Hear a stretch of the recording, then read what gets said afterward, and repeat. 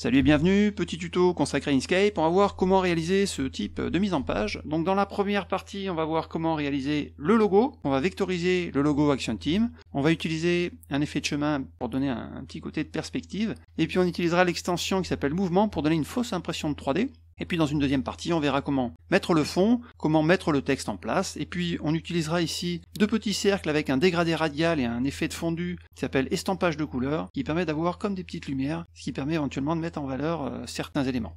Allez, je vais tout de suite dans Fichier nouveau, je vais aller dans Affichage, on va choisir plein écran, Affichage, on décoche écran large, je vais dans Fichier, Importer, je vais importer le modèle qui sera téléchargé en bas de la vidéo, je clique sur ouvrir, je clique sur incorporer, on va réduire la taille de l'image, je clique sur la flèche, et pour éviter de la déformer, j'appuie sur CTRL et sur SHIFT. Voilà, je réduis la taille de l'image comme ceci, et toujours avec la flèche noire, je clique sur mon image et je la déplace pour la mettre à peu près au milieu de mon document. Pour zoomer, j'appuie sur plus, pour dézoomer c'est moins, et pour me déplacer dans mon document, je clique sur la molette, je reste appuyé, et je peux comme ça déplacer mon document. Je vais aller dans Objet, Calque Objet, ce qui permet de voir qu'ici on a le calque 1, et dans le calque 1, j'ai mon image qui est là.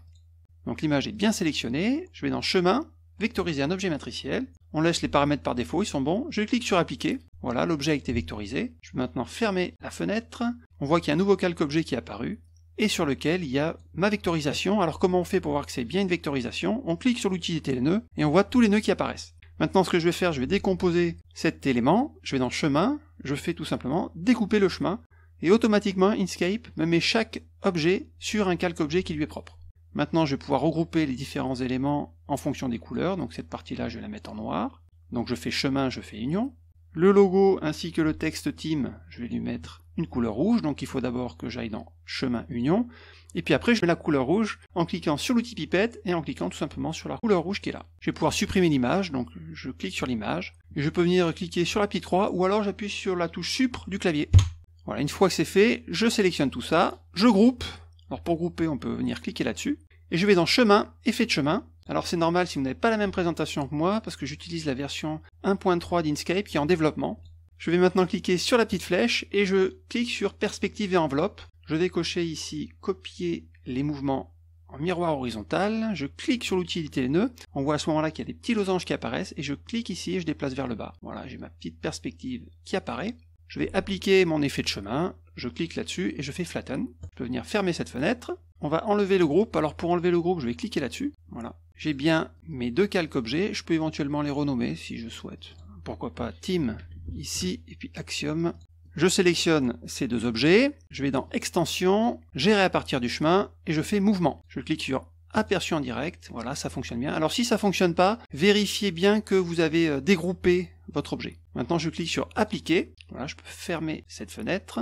Alors on voit que Kingscape nous a créé un groupe, et dans ce groupe, il nous a laissé ici l'axiome, d'ailleurs je vais lui mettre une autre couleur pour qu'on puisse bien le voir. Et pareil également ici, il nous a créé un groupe, et Team, il a mis ici, puis après il y a le groupe avec la, projection, que je peux venir masquer et démasquer. Donc Team, je vais lui mettre une couleur rouge peut-être un peu plus claire, voilà, de façon à ce qu'on puisse le voir. Euh, je vais éventuellement supprimer ici ces deux groupes, donc je fais un CTRL A, ce qui permet de sélectionner les groupes, et je vais enlever des groupes, voilà, de façon à avoir les choses beaucoup plus simples. Je vais également dégrouper ces deux objets. Donc avec, euh, avec CTRL, je clique ici, ce qui permet de sélectionner les deux groupes, je dégroupe en cliquant là-dessus. Je vais cliquer sur l'outil éditer les nœuds, et je vais venir sélectionner la partie du bas. Alors en principe, il devrait y avoir un, un bug qui va apparaître ici et là lorsque je vais déplacer ces objets. Ouais, c'est ça, regardez. Là, on voit que j'ai un petit renflement qui est là, je dois avoir peut-être un renflement ici. Oui, c'est ça. Alors pour éviter ce, genre de petits problèmes, on va tout sélectionner, CTRL A, ce qui permet de sélectionner tous les nœuds, et on va cliquer là-dessus une fois pour rendre les nœuds durs. Et je pense que ça devrait résoudre le problème. Rectangle de sélection, je clique, je déplace. Effectivement, là, il n'y a plus de renflement. On essaie d'attraper ici un petit nœud, vous voyez, lorsqu'on est sur un nœud, il devient rouge. Je clique, je déplace. Voilà, je mets ça à peu près comme ceci. Je vais cliquer sur la flèche. Alors si vous n'avez pas la flèche, pensez à activer cet élément-là. Et si vous avez les nœuds, c'est qu'ici vous avez activé cette, euh, option. Enfin, les, pas les nœuds, les, les poignées, pardon. Voilà, maintenant on va réduire, donc je clique sur la flèche en appuyant sur CTRL. Voilà, on va réduire un petit peu comme ceci, c'est pas mal. Voilà, c'est bien. J'appuie sur moins pour dézoomer. Voilà, on a, on a fait notre logo. Euh, ce que j'aurais pu faire, j'aurais pu venir unir ces éléments-là. Hop, je sélectionne bien ici. Je sélectionne maintenant bien là. Je fais chemin et je fais union de façon à simplifier. Voilà, avoir ici team, et puis là, la projection, je vais faire la même chose pour le, côté 3D de Axiom, rectangle de sélection, chemin, union, CTRL Z, j'ai dû unir, ouais, là j'aurais dû verrouiller. je sélectionne tout ça, chemin, union, ou CTRL plus. Voilà, ce qui permet d'avoir euh, quelque chose de relativement propre. Maintenant, ce que je vais faire, je vais importer le modèle avec la mise en page, fichier, importer, mise en page, ouvrir, incorporer. Ok, j'appuie sur moins pour dézoomer, je clique sur la molette de ma souris, je clique sur mon image pour la déplacer et la mettre à côté. Je vais pouvoir fermer ici la fenêtre calque objet. Alors je vais récupérer un petit peu les couleurs, à savoir ici le bleu. Donc je clique ici sur l'outil nœud, je clique sur le texte Axiom, j'appuie sur la petite pipette, et je mets la couleur bleue. Alors j'aurais peut-être dû déverrouiller d'abord, voilà, je déverrouille Team et Axiom. Donc je clique avec l'outil les nœuds sur le Axiom en gris, je clique sur la pipette et je mets la petite couleur bleue. Je vais prendre ici, et on voit que j'ai mis un dégradé radial, donc on va faire ça tout de suite. Donc je clique sur l'outil dégradé radial qui est ici, je prends donc dégradé radial, je double-clique sur mon objet, ce qui permet d'afficher tout de suite un dégradé radial. Je vais cliquer sur le petit cercle qui est en haut, je clique sur la pipette, et je vais prendre la couleur bleue qui est là. Pour la partie centrale, je clique ici sur le petit carré et je mets euh, le bleu clair qui est là. Je vais pouvoir déplacer, et éventuellement agrandir la poignée, hop, je clique, je glisse en appuyant sur CTRL. Je vais faire la même chose pour le team, je clique, j'appuie sur la pipette, alors le raccourci pour la pipette c'est D, donc j'appuie sur D, hop, je mets la couleur euh, la plus claire, je vais lui mettre un dégradé radial, donc je clique sur Outils dégradé, on voit que le raccourci c'est G, je double-clique sur mon objet, je clique sur le cercle en haut, je sélectionne l'outil pipette, D, et je mets la couleur rouge ici. Je déplace, j'agrandis un petit peu, voilà, comme ceci, c'est pas trop mal. Je vais maintenant mettre un dégradé derrière, donc pour cela je vais cliquer ici sur mon objet qui est derrière en fait, le faux côté 3D, donc D pour mettre la couleur, G pour basculer vers l'outil dégradé, alors je zoome pour bien double-cliquer sur cette partie-là, voilà. Je clique sur la partie du haut, j'appuie sur D et je mets la couleur rouge sombre qui est là. Je déplace comme ceci, j'agrandis un petit peu. Je fais pareil ici pour la partie bleue, je clique, j'appuie sur D, je mets la partie la plus claire, j'appuie sur G, je double-clique pour avoir le dégradé radial, je déplace comme ceci, j'agrandis un petit peu, je mets la couleur bleu foncé. Voilà, je peux venir maintenant sélectionner tout mon logo et faire un CTRL G pour grouper tout ça et je vais l'appeler tout simplement logo. Maintenant je vais créer le fond, alors pour créer le fond je vais cliquer ici sur l'outil rectangle, je clique, je glisse, pour prendre à peu près les dimensions, je vais passer ici en pixels, donc je vais mettre 1200 par 800, voilà, je déplace mon rectangle, je vais le projeter à l'arrière, pour le projeter à l'arrière je clique là-dessus, comme ceci. Je vais utiliser ici la couleur la plus claire, donc avec l'outil pipette, je récupère la couleur qui est là, J'appuie sur G pour basculer dans l'outil dégradé, je double-clique, voilà, j'ai déplacé cet objet comme ceci, je clique ici, j'appuie sur D, je récupère la couleur qui est ici, on va rajouter un petit taquet de couleurs, donc j'appuie sur G, je double-clique, ce qui rajoute un taquet de couleurs, alors là on le voit pas parce que j'ai un petit bug, mais je vais faire apparaître la fenêtre fond et contour, et on voit que voilà, mon petit taquet de couleurs est là, si je clique et que je le déplace, on le voit apparaître. Et ce taquet de couleurs, on peut le déplacer ici. Je vais lui mettre la couleur violette qui est là, j'appuie sur D, je clique à peu près ici. Euh, je vais rajouter un autre taquet de couleurs, donc j'appuie sur G. Vous voyez, quand je, m'approche de la ligne, il y a un petit plus qui apparaît, je double-clique. Donc le taquet de couleurs est là, j'appuie sur D pour mettre à peu près une couleur ici. Là. Voilà, le fond est vraiment très basique. Maintenant, je vais cliquer sur la poignée et venir déplacer ça comme ceci. Puis je vais réduire un petit peu. Je vais déplacer cette couleur ici le logo, hop. Alors comment ça se fait? On va faire apparaître la fenêtre calquer objet. Ah, le logo. Ah oui, parce que j'ai mis le fond également dans le logo. Donc le fond, le fond qui est là, c'est le rectangle. Je vais, je vais le déplacer, je vais cliquer dessus, puis je vais le passer au-dessus du logo. Voilà. Et mon logo, après, je vais pouvoir le mettre au-dessus du fond. Et le rec 407, je vais le renommer, je vais l'appeler fond.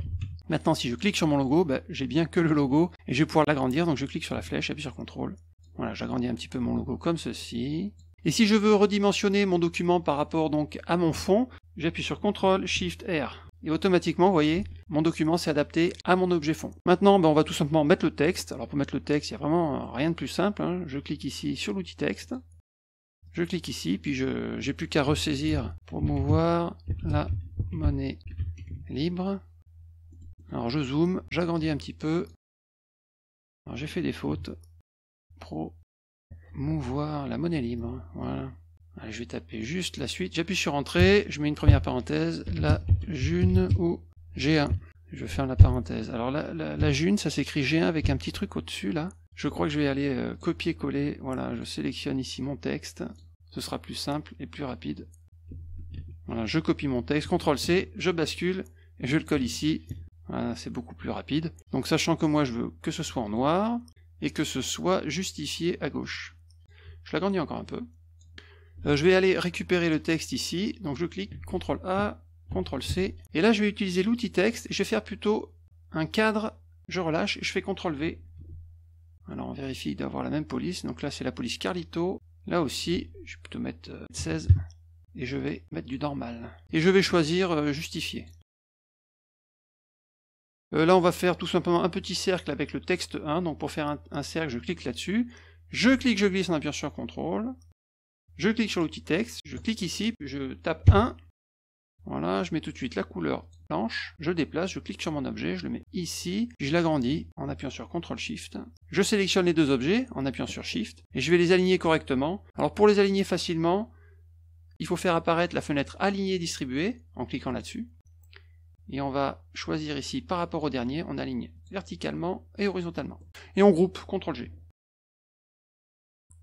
on va dupliquer tous ces objets, CTRL D, je clique sur les objets, j'appuie sur CTRL pour rester bien à l'horizontale, je peux déplacer voilà, tous mes textes comme ceci. Et là, j'ai plus qu'à retourner ici et à sélectionner les textes.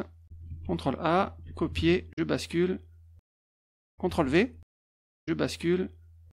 CTRL A, copier, je bascule. Je clique sur le, texte, CTRL A, CTRL V. Et puis là, on change, au lieu de mettre 1, on met 2, bien sûr. Euh, j'ai oublié ici la phrase blanche, l'association remplie de missions. Donc CTRL A, copier. Donc je fais une zone de texte. Je clique, je glisse. CTRL V. On va augmenter la taille, on va mettre ça à 24 par exemple, ça devrait être pas mal. Et on va choisir du bold. Voilà, on a pratiquement fini. On peut éventuellement grouper ces objets là. CTRL G, CTRL G. Avec Shift, je sélectionne les deux, puis je vais réduire un petit peu. Peut-être donner un petit peu plus d'espace entre les deux. Donc à chaque fois, pour sélectionner deux objets, j'appuie sur Shift, et j'appuie sur CTRL pour les déplacer. Alors ce que je vais faire maintenant, je vais faire donc les petits cercles de couleur, donc je clique, je glisse en appuyant sur CTRL. Alors j'appuie sur G pour avoir l'outil dégradé, je double-clique pour avoir un dégradé radial. Ici je vais mettre une petite couleur violette, je vais venir récupérer ici. Et là on va laisser euh, comme ceci, c'est pas mal. Je fais apparaître la fenêtre fond et contour, et on va choisir ici comme mode de fondu, estompage de couleur. Si je déplace, vous voyez ce que ça donne. Alors il y a un petit souci, c'est qu'ici j'aurais dû mettre une couleur également violette. Ici j'aurais dû mettre la même couleur que là, mais avec un alpha. Donc je viens récupérer ici la couleur, je sélectionne tout, CTRL C, je vais sur cette couleur, je sélectionne tout. Alors on double-clique, ce qui permet de sélectionner tout le texte, et on fait CTRL V. Par contre, je vais diminuer ici l'opacité. Donc ici je mets à 0. Voilà, ça commence à être pas mal. Et là, pour améliorer encore les choses, on va mettre un petit flou. Euh, sur cette couleur, je vais peut-être mettre un petit peu plus foncé. Et ici peut-être un petit peu plus clair, voir ce que ça donne. Ouais, de façon à avoir quand même une lumière plus, plus puissante. On peut venir déplacer comme ceci. On peut dupliquer, CTRL D. Voilà, on va mettre ça sur l'autre partie, comme ceci. CTRL D. Et on va éventuellement mettre voilà, une couleur ici, en agrandissant un peu. Voilà pour ce petit tuto, euh, j'espère qu'il vous sera utile. N'hésitez pas à poser des questions, et je vous dis à bientôt pour de nouveaux tutos.